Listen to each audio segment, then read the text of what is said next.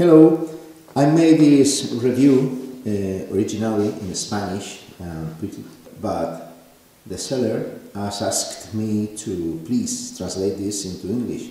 So uh, here we go. What's inside the package? We have the monitoring system.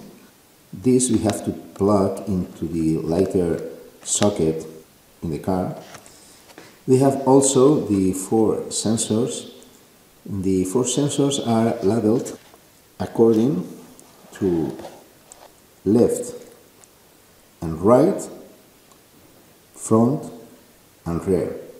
So we have to fix this in the bubble, in the tire, uh, according to the right position. Okay. We also have this tool.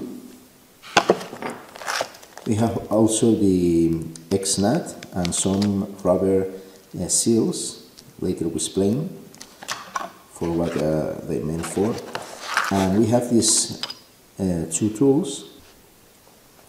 We can use uh, these tools to remove the cover from the sensor and later we will be able to change the, the batteries. How we do that? We put in this position and press and we can separate both. Going to show you one thing. In the lower part of the sensor here, I don't know, I'm not sure if the camera can show you that. But in this place, you have a rubber seal, like this one. This four, you have to keep it uh, when we change the battery or the rubber gets old, we can have a replacement. Okay? We put the cover again.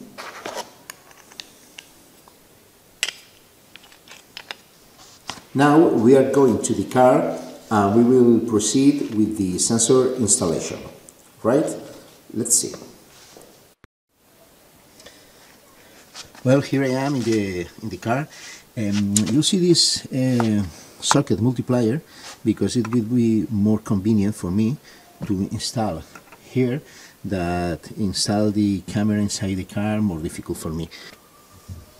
In the instructions, the, that's stated stated that we need to first of all plug the monitor into the socket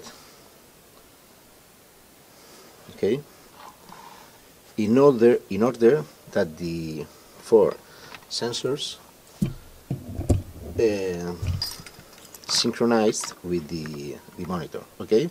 Once the what once we have done this we can install this on the bubbles of the tire okay?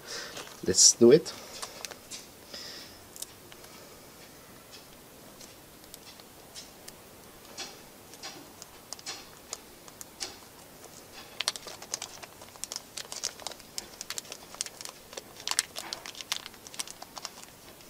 rear,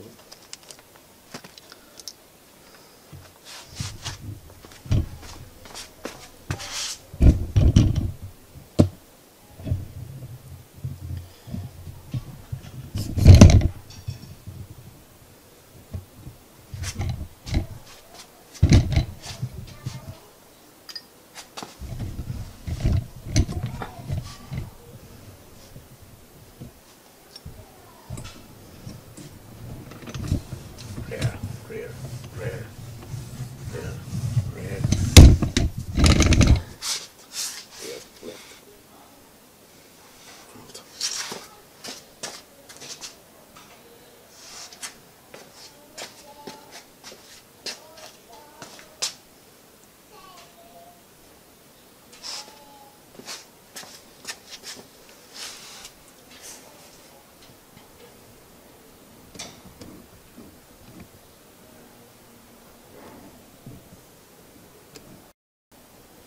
Well, um, as I told you before, we need to uh, get sure, we need to be sure that the sensor is in the right wheel, okay? We have RR, right rear. This is the right rear wheel. First of all we have to install the X nut. We put the X nut in that position later we?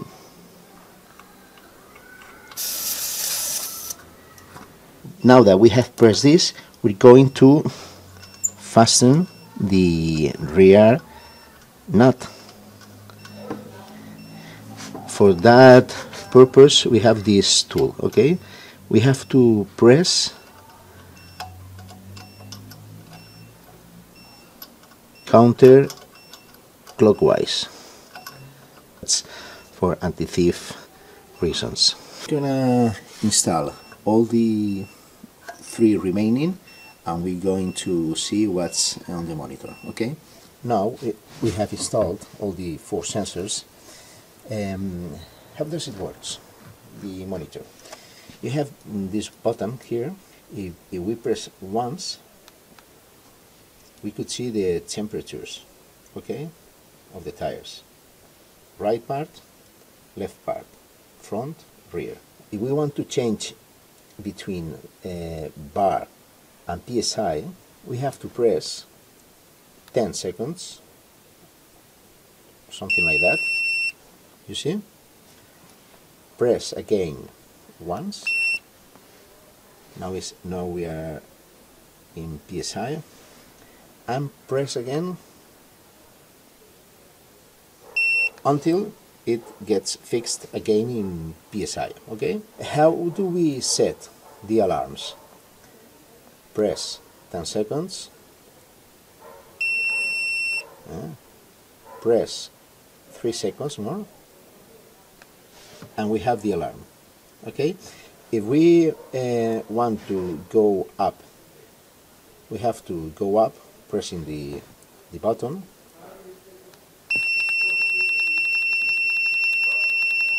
and we will reach one point that it start again from 2 okay? If we press again 3 seconds we can set the down pressure alarm okay? And if we press again 3 seconds we can set the temperature alarm the same procedure. We can press until we reach some point that he starts again from the, the lower temperatures. We press again 3 seconds. If we let uh, in that position in 10 seconds it will go again to monitoring system mode. You see? That's all we have to know about this TMPS uh, system. It's a it's an easy thing to configure it's an easy thing to install an easy, an easy thing to make the setup. Well I hope that you haven't suffered too much with my English Spanish English. So see you next time